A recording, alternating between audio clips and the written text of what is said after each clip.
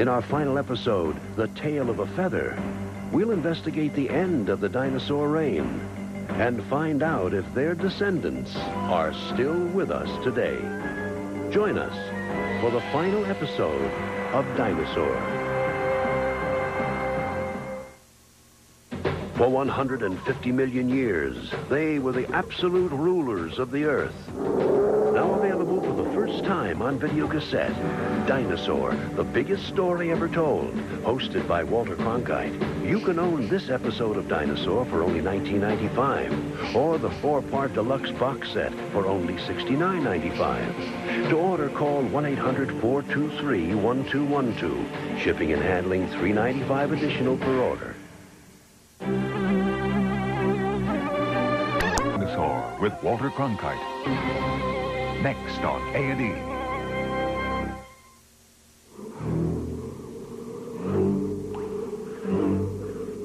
We all know that dinosaurs are not around today. They died out 65 million years ago. In this program, we ask why. After a reign of 150 million years, what happened? Did they fail to adapt, or were they just unlucky? Or have we been wrong all along? We will explore the intriguing possibility that dinosaurs live on in disguise. Dinosaur detectives believe they have found the clues that prove that dinosaurs are around today. Let's see.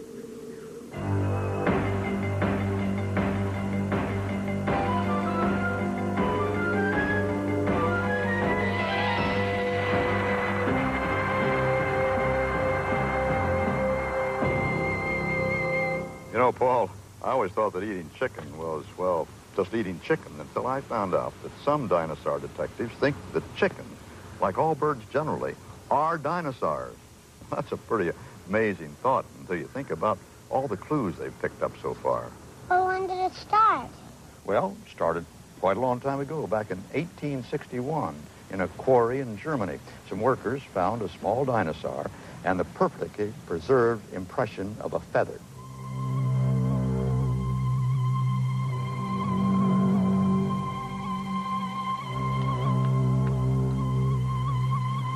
The feather that was found in southern Germany caused an uproar. The 19th century fossil hunters, dinosaur detectives, were confused, for the feather should not have been there at all. The limestone rock dated back to the age of dinosaurs, millions of years before birds were thought to have evolved.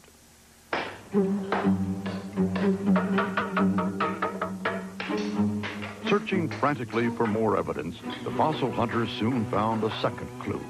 But this only turned the puzzle into a mystery. The experts were thrown into total confusion when close by the feather, they found the complete skeleton of a small bird. Or they thought it was a bird. They called it Archaeopteryx, ancient wing.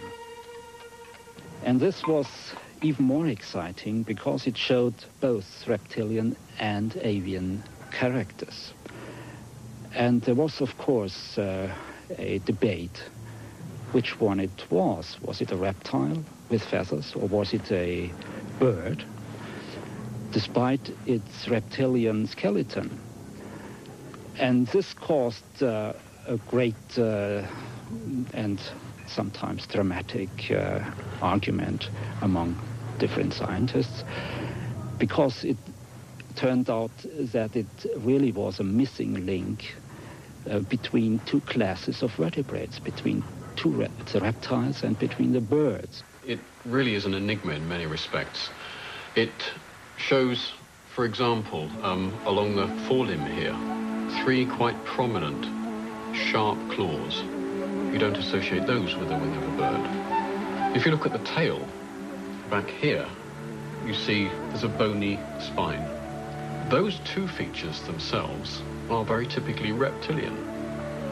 Also, if you look at the head of the creature up here, you can follow along the line of the jaws these little spiky teeth. These three characteristics are not typical of those of birds.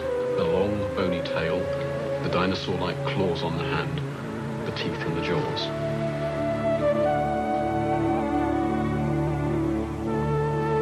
From the time of its discovery until the mid-1970s, Archaeopteryx has been regarded as a linchpin in the evolution of birds. The problem was identifying precisely which group of reptiles was closest to Archaeopteryx and therefore to birds. In 1973, the problem was looked at afresh by a modern dinosaur detective, John Ostrom. Starting at Solnhofen, where else, he looked again at the clues. Oh, well, it has such beautiful fossil material from that very fine-grained lithographic limestone. And it's almost like uh, uh, photographs of uh, things that once lived uh, in a lagoonal kind of setting 150 uh, million years ago. That exquisite material. It's a glimpse into the past that uh, I don't know of any other place that produces such wonderful, wonderful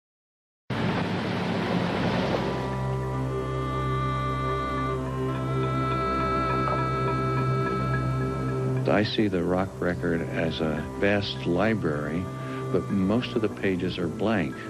There are pages that are just full of information, like the Solnhofen limestones have produced for us. My uh, fieldwork expeditions has been tracing down blank pages because uh, there have to be pieces of information on those blank pages that simply haven't been discovered yet.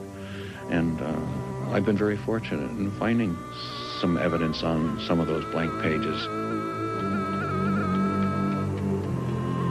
The mine in Bavaria has filled in some of the gaps. Because the lagoon in which the feather and skeleton were preserved is unique, the remains of Archaeopteryx and other creatures are perfect in every detail.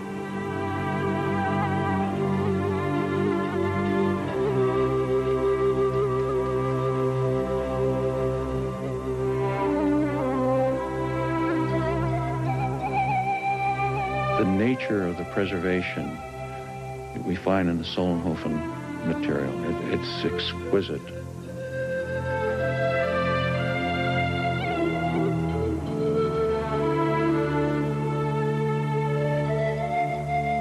Most remarkable of all finds, of course, are the specimens of Archaeopteryx, uh, uh, in particular the Berlin specimen, which shows such beautiful detail of the feather imprints. It's, it's remarkable a kind of photographic image almost that uh, is uh, preserved uh, from 150 million years ago.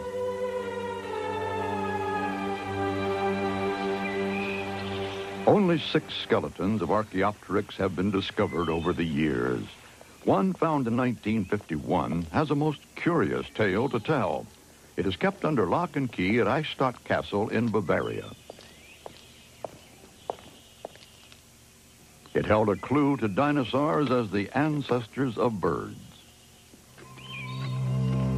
For 25 years, this specimen was classified as the dinosaur Compsognathus, simply because it had no feathers preserved around its skeleton.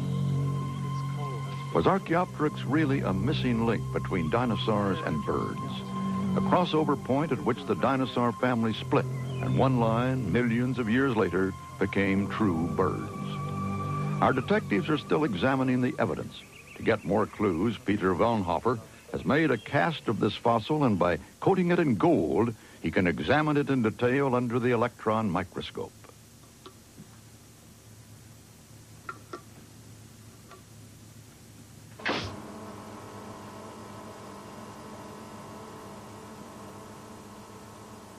One of the most striking features in Archaeopteryx is that it has teeth, and these are in fact reptilian teeth. I'm trying to compare the teeth of Archaeopteryx with the teeth of Compsognathus. Compsognathus, of course, is a small dinosaur, which uh, is supposed to be closely related to Archaeopteryx. The small dinosaur Compsognathus may hold the key to Archaeopteryx ancestry. Could it be a close relative? Well, if you take a quick look at the anatomy of something like uh, Compsognathus, this nice model, which is actual size, and look at the anatomy of Compsognathus, or as you see it preserved in that uh, fine specimen, uh, compare that with uh, the skeletal remains in Archaeopteryx. There are so many skeletal details that one has to conclude, I think, uh, that they came from a common ancestor They evolved from the same source.